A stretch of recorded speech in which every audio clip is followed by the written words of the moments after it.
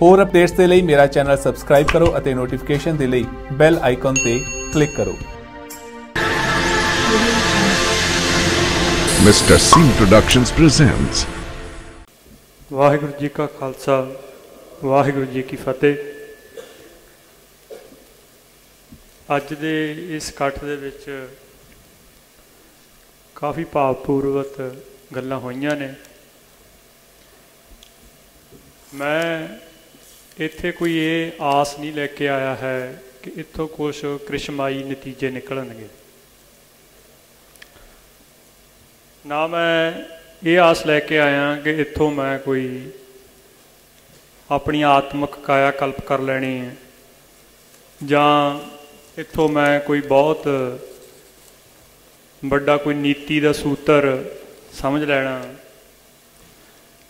ਜਾਂ ਮੈਂ ਇਹ ਸੋਚ ਕੇ ਵੀ ਨਹੀਂ ਆਇਆ ਕਿ ਇੱਥੇ ਬਹੁਤ ਵੱਡੇ ਕਰਮਯੋਗੀ ਜਿਨ੍ਹਾਂ ਦੀ ਜ਼ਿੰਦਗੀ ਦੇ ਵਿੱਚ ਬਹੁਤ ਸਟਰਗਲ ਜਹਿਦ ਰਹੀ ਹੋਵੇ, ਐਸੇ ਬੰਦਿਆਂ ਦੀ ਕਹਾਣੀ ਸੁਣਨੀ ਜਿਨ੍ਹਾਂ ਤੋਂ ਮੈਂ ਉਤਸ਼ਾਹਿਤ ਹੋ ਜਾਣਾ।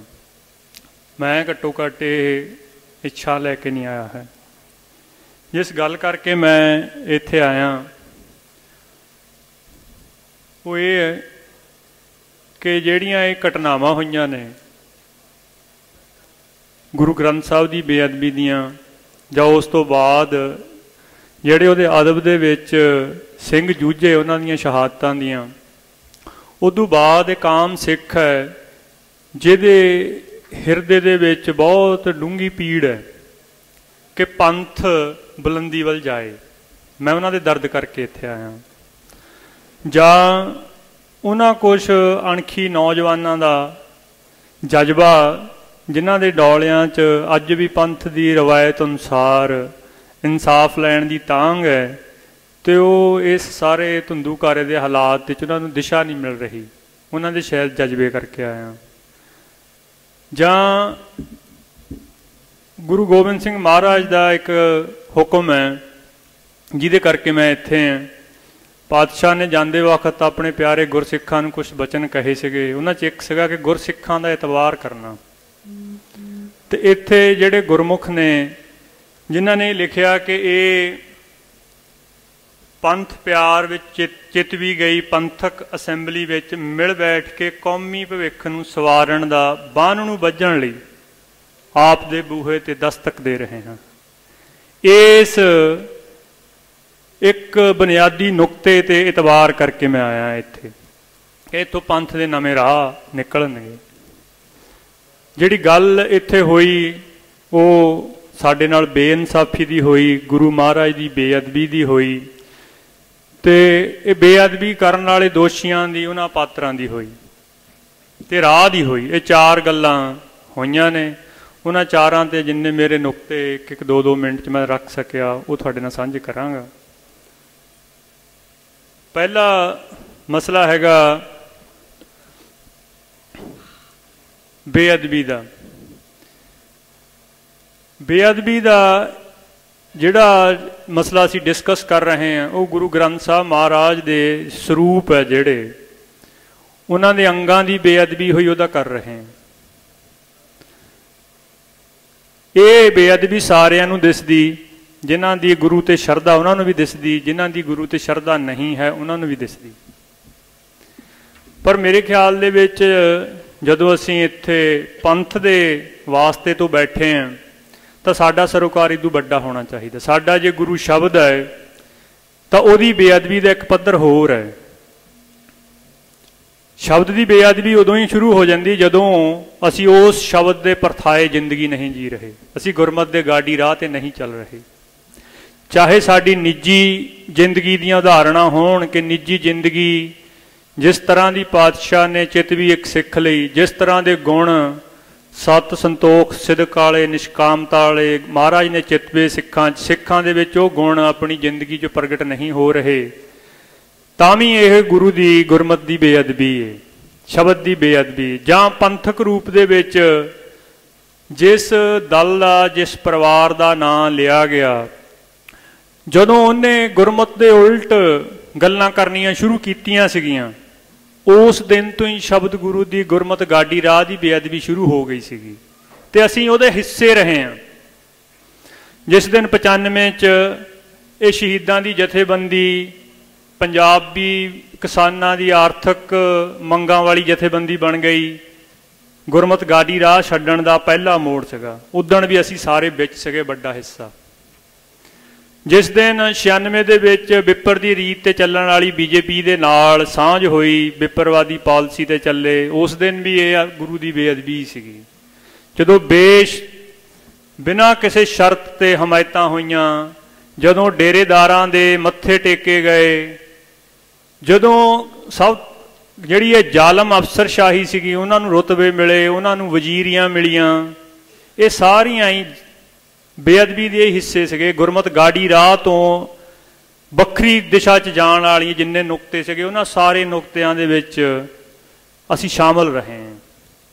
ਉਦੋਂ ਜੇ ਸਾਡੀਆਂ ਤੰਦਾਂ ਆਤਮਾ ਦੀਆਂ ਹਿੱਲੀਆਂ ਹੁੰਦੀਆਂ ਤੇ ਇਹ ਜਿਹੜੀ ਸੂਖਮ ਬੇਅਦਬੀ ਹੈ ਇਹ ਪ੍ਰਤੱਖ ਬੇਅਦਬੀ ਤੱਕ ਪਹੁੰਚਣ ਦੇ ਹਾਲਾਤ ਆਣੇ ਨਾ ਸਾਡੀ ਆਪਣੀ ਧਿਰ ਦੇ ਹੁੰਦੇ ਹੋਇਆਂ। ਦੂਜਾ ਕਰ ਜਾਂਦਾ ਉਹ ਵੱਖਰੀ ਗੱਲ।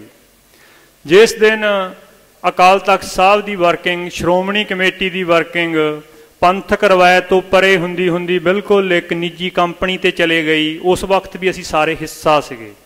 ਵੱਡਾ ਹਿੱਸਾ। ਅਸੀਂ ਸਾਰਿਆਂ ਨੇ ਉਹਦੇ ਵਿੱਚ ਮਾਣਿਆ ਕੁਛ ਨਾ ਕੁਛ।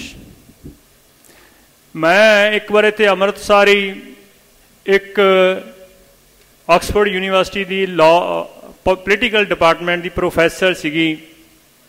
ਉਹ ਲਿਬਰਲ ਇੰਟਰਨੈਸ਼ਨਲ ਜਿਹੜੀ ਸੀਗੀ, ਉਹਦੀ ਸੈਕਟਰੀ ਰਹੀ ਸੀਗੀ। ਉਹਨੂੰ ਮੈਂ ਇੱਕ ਸਵਾਲ ਪੁੱਛਿਆ ਵੀ ਯੂਰਪ ਦੇ ਵਿੱਚ ਵੈਸਟ ਦੇ ਵਿੱਚ ਜਿਹੜਾ ਪੋਲੀਟੀਕਲ ਕ੍ਰਾਈਸਿਸ ਹੈ, ਇਹਦੀ ਵਜ੍ਹਾ? ਉਹ ਮੈਨੂੰ ਕਹਿਣ ਲੱਗੀ ਕਿ ਵਜ੍ਹਾ ਬਹੁਤ ਨੇ, ਸਭ ਤੋਂ ਬੁਨਿਆਦੀ ਵਜ੍ਹਾ ਇਹ ਹੈ ਕਿ ਉੱਥੇ ਪੋਲੀਟੀਕਲ ਕਲਾਸ ਦੀ ਵਿਸ਼ਵਾਸਯੋਗਤਾ ਨਹੀਂ ਰਹੀ ਹੈ। ਅੱਜ ਉਹ ਵਿਸ਼ਵਾਸਯੋਗਤਾ ਦਾ ਸਵਾਲ ਸਾਡੇ ਤੇ ਵੀ ਖੜਾ। ਮੇਰੇ ਮਨ 'ਚ ਵੀ ਇਹ ਵਿਸ਼ਵਾਸਯੋਗਤਾ ਦਾ ਸਵਾਲ ਖੜਾ ਕਿ ਅੱਜ ਅਸੀਂ ਉਸ ਧਿਰ ਨੂੰ ਦੋਸ਼ੀ ਕਟਹਿਰੇ 'ਚ ਖੜਾ ਕਰ ਰਹੇ ਆ, ਜਦ ਸਾਨੂੰ ਸਾਰਿਆਂ ਨੂੰ ਪਤਾ ਕਿ ਉਹਦੇ ਹੁਣ ਦੁਆਰਾ ਪਾਵਰ ਚਾਣ ਦੇ ਸਕੋਪ ਨਹੀਂ ਹੈ। ਜਦੋਂ ਉਹਨਾਂ ਦੇ ਰਾਹੀਂ ਸਟੇਟ ਸਾਨੂੰ ਆਨੰਦ ਮਾਣ, ਆਨੰਦ ਲੈ ਰਹੇ ਸੀਗੇ, ਜਦੋਂ ਸਟੇਟ ਦਾ ਉਹਨਾਂ ਤੇ ਥਾਪੜਾ ਸੀਗਾ, ਅਸੀਂ ਸਾਰਿਆਂ ਨੇ ਉਹਨਾਂ ਦੇ ਰਾਹੀਂ ਆਨੰਦ ਮਾਣਿਆ। ਵੱਡੇ ਹਿੱਸੇ ਨੇ। ਲੈਟ ਲਿਸਨ ਦੂਸਰੀ ਗੱਲ ਹੈਗੀ ਇਨਸਾਫ ਦੇ ਤਕਾਜ਼ੇ ਦੀ। ਇਨਸਾਫ ਦਾ ਇਹ ਤਕਾਜ਼ਾ ਕਿ ਜਿਹੜੇ ਮਨੁੱਖ ਦਿਸਦੇ ਨੇ, ਉਹਦੇ ਵਿੱਚ, ਬੇਅਦਬੀਆਂ ਦੇ ਵਿੱਚ ਮਿੰਦਰਪਾਲ ਬਿੱਟੂ ਕੋਈ ਮਨੁੱਖ ਹੈ ਜਿਹੜਾ ਮੇਨ ਸਾਜ਼ਿਸ਼ਕਾਰੀ ਉਹ। ਉਸ ਤੋਂ ਬਾਅਦ ਮੌਕੇ ਦੇ ਪੁਲਿਸ ਅਫਸਰ ਪੋਲੀਟੀਕਲ ਲੀਡਰਸ਼ਿਪ ਦੇ ਨਾਂ ਆ ਗਏ। ਪਰ ਮੇਰੇ ਖਿਆਲ ਦੇ ਵਿੱਚ ਆਪਾਂ ਸਾਰਿਆਂ ਨੂੰ ਪਤਾ ਕਿ ਡੇਰੇ ਵਾਲਾ ਜਿਹੜਾ ਉਹ ਗੁਰਮੀਤ ਹੈ, ਉਹਦਾ ਨਾਮ ਵੀ ਆ ਜਾਏ। ਇਹ ਸਾਰੇ ਹੀ ਮੋਹਰੇ ਸੀਗੇ। ਇਹਨਾਂ ਤੋਂ ਪਿੱਛੇ ਵੀ ਕੁਝ ਹੈ। ਇਹਨਾਂ ਤੋਂ ਪਿੱਛੇ ਆਪਾਂ ਕੁਝ ਆਰਐਸਐਸ ਕਹਿੰਦੇ ਆ ਕੁਝ ਸਟੇਟ ਏਜੰਸੀਆਂ ਕਹਿੰਦੇ ਆ ਹੁਣ ਬੀਜੇਪੀ ਦੇ ਆਉਣ ਤੋਂ ਬਾਅਦ ਆਰਐਸਐਸ ਤੇ ਸਟੇਟ ਏਜੰਸੀ ਦੀ ਵਰਕਿੰਗ ਪਾਲਿਸੀ ਸ਼ਾਇਦ ਕੋਈ ਫ਼ਰਕ ਆਪਾਂ ਨੂੰ ਕਰਨਾ ਮੁਸ਼ਕਲ ਹੀ ਬਹੁਤ ਹੋ ਗਿਆ ਹੋਇਆ ਤੇ ਉਹ ਇੱਕੋ ਜਿਹੇ ਹੀ ਹੋ ਗਏ ਹੋਏ। ਤੋ ਜੇ ਦੋਸ਼ੀ ਸਟੇਟ ਹੈ, ਤਾਂ ਫਿਰ ਅਸੀਂ ਅਲਟੀਮੇਟ ਇਨਸਾਫ ਨਹੀਂ ਲੈ ਸਕਦੇ। ਅੰਮ੍ਰਿਤਸਰ ਦੀ ਘਟਨਾ ਹੈ, ਇੱਥੇ 1919 ਜੱਲਿਆਂ ਵਾਲੇ ਬਾਗ ਦੇ ਵਿੱਚ ਕਤਲੇਆਮ ਹੋਇਆ।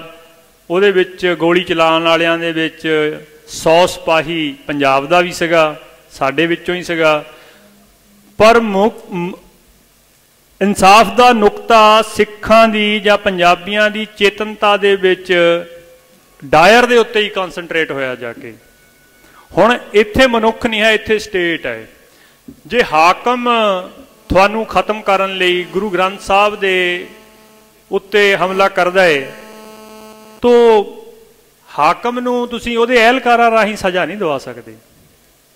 ਇਸ ਕਰਕੇ ਜਿਹੜੀ ਇਹ ਸਰਬਜੀਤ ਸਿੰਘ ਉਹਨਾਂ ਨੇ ਗੱਲ ਕੀਤੀ ਕਿ ਅਲਟੀਮੇਟ ਜਿਹੜਾ ਇਸ ਮਸਲੇ ਤੋਂ ਬਾਅਦ ਸਾਡਾ ਰਾਹ ਬਣਨਾ ਚਾਹੀਦਾ, ਉਹ ਸਾਡੀ ਸੋਵਰੈਂਟੀ ਹੈ ਸਾਡੀ ਆਜ਼ਾਦੀ ਹੈ ਸਾਡੇ ਖਾਲਿਸਤਾਨ ਹੀ ਆ। ਉਹ ਠੀਕ ਹੈ ਕਿ ਉਸ ਤੋਂ ਪਹਿਲਾਂ ਦੇ ਬਹੁਤ ਸਾਰੇ ਸਟੈਪ ਨੇ ਉੱਥੇ ਤੱਕ ਪਹੁੰਚਣ ਨੂੰ ਸਾਨੂੰ ਆਪਣੀਆਂ ਬਹੁਤ ਸਾਰੀਆਂ ਸੰਸਥਾਵਾਂ, ਬਹੁਤ ਸਾਰੀਆਂ ਪਰਸਨੈਲਿਟੀਆਂ ਚ ਇੰਪਾਵਰਮੈਂਟ ਦੀ ਮੂਵ ਚਲਾਣੀ ਪੈਣੀ। ਉਸ ਤੋਂ ਬਿਨਾ ਕਿਸੇ ਤਰ੍ਹਾਂ ਦੀ ਵੀ ਅੰਸ਼ਕ ਜਾਂ ਪੂਰਨ ਪ੍ਰਾਪਤੀ ਹੋ ਨਹੀਂ ਸਕਦੀ। ਉਸ ਦੇ ਵਿੱਚ ਬਹੁਤ ਮਲਟੀਪਲ ਬਹੁਤ ਜ਼ਿਆਦਾ ਪੱਧਰਾਂ ਦੇ ਉੱਤੇ ਸਾਨੂੰ ਵਰਕ ਕਰਨਾ ਪੈਣਾ। ਉਹਦੇ ਵਿੱਚ ਸਾਰੀ ਤਰ੍ਹਾਂ ਦੀ ਪੋਲੀਟੀਕਲ ਵਲਨਗੀ ਸਾਰੀ ਤਰ੍ਹਾਂ ਦੇ ਰਿਲੀਜੀਅਸ ਪ੍ਰਚਾਰ ਦੇ ਤਰੀਕਾਕਾਰ ਐਜੂਕੇਸ਼ਨ ਦੇ ਤਰੀਕਾਕਾਰ ਸਾਰੇ ਲੈਣੇ ਪੈਣੇ। ਉਹਨਾਂ 'ਚ ਮਨਾਹੀ ਨਹੀਂ ਹੈ, ਪਰ ਉਹਨਾਂ 'ਚ ਸਿੰਕਰੋਨਾਈਜੇਸ਼ਨ ਚਾਹੀਦੀ ਆ। ਹੁਣ ਸਾਡੀ ਸਮੱਸਿਆ ਜਿੱਥੇ ਹੈ ਕਿ ਜਿਹੜਾ ਰਾਹ ਅਸੀਂ ਫੜ ਲਿਆ ਤੇ ਉਸ ਰਾਹ ਦਾ ਜਿਹੜਾ ਨੁਕਤਾ ਅਸੀਂ ਫੜ ਲਿਆ, ਸਾਡੀ ਇੱਕ ਵਿਸ਼ਫੁਲ ਥਿੰਕਿੰਗ ਹੁੰਦੀ ਆ ਕਿ ਸਾਰੇ ਉਹਦੇ ਨਾਲ ਸਹਿਮਤ ਹੋ ਜਾਣ ਤੇ ਸਾਡੇ ਵਾਂਗੂ ਹੀ ਵਰਕਿੰਗ ਕਰਨ। ਇੱਥੇ ਜਿਸ ਗੱਲ ਕਰਕੇ ਮੈਂ ਆਇਆ ਕਿ ਇੱਥੇ ਸੰਵਾਦ ਹੋਏਗਾ। ਸੰਵਾਦ ਕਰਨ ਦੀ ਜ਼ਰੂਰੀ ਸ਼ਰਤ ਇਹ ਆ ਕਿ ਤੁਸੀਂ ਆਪਣੇ ਆਪ ਮਨ ਦੇ ਵਿੱਚ ਆਪਣੀ ਪੋਜੀਸ਼ਨ ਨੂੰ ਨਿਊਟਰਲ ਕਰਕੇ ਆਓ। ਅਸੀਂ ਜੇ ਆਪਣੀ ਪੋਜੀਸ਼ਨ ਨੂੰ ਨਿਊਟਰਲ ਕਰਕੇ ਨਹੀਂ ਆਂਦੇ ਤੇ ਇੱਥੇ ਆ ਕੇ ਇਹ ਸੋਚਦੇ ਆ ਕਿ ਮੈਂ ਆਪਣੀ ਪੋਜੀਸ਼ਨ ਦੇ ਨਾਲ ਬਾਕੀਆਂ ਨੂੰ ਸਹਿਮਤ ਕਰਨਾ, ਫਿਰ ਉਹ ਸੰਵਾਦ ਨਹੀਂ ਹੋ ਸਕਦਾ। ਉਹ ਅਲਟੀਮੇਟਲੀ ਕਿਸੇ ਦਿਨ ਵਿਵਾਦ ਚਲਿਆ ਜਾਣਾ। ਤੋ, ਜੇ ਸੰਵਾਦ ਹੋਣਾ, ਇਹ ਬਹੁਤ ਚੰਗੀ, ਸ਼ੁਭ ਸ਼ਗਨ ਹੈ। ਇਹਦੇ ਵਿੱਚ ਬਹੁਤ ਸਾਰੀਆਂ ਕੰਟਰਾਡਿਕਸ਼ਨ ਵਿਰੋਧਾਭਾਸ, ਬਹੁਤ ਸਾਰੀਆਂ ਤਲਖੀਆਂ ਵੀ ਹੋ ਸਕਦੀਆਂ, ਕਿਸੇ ਨੂੰ ਗੱਲਾਂ ਤਿੱਖੀਆਂ ਵੀ ਲੱਗ ਸਕਦੀਆਂ। ਪਰ ਇਹਦੇ ਵਿੱਚ ਹੀ ਜਿਹੜੀ ਇਹਦੀ ਜਥੇਬੰਦਕ ਟੀਮ ਹੈ, ਉਹਦਾ ਸਿਦਕ ਕਿੰਨਾ ਹੈ, ਉਹਦਾ ਸੰਤੋਖ ਕਿੰਨਾ ਪਰਖਿਆ ਜਾਣਾ।